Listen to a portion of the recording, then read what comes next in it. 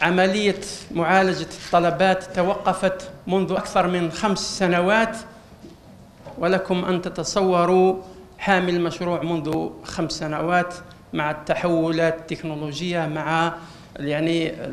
مع كل التحولات الطارئة يعني الاستثمار اللي كان في في 2018 أصبح يعني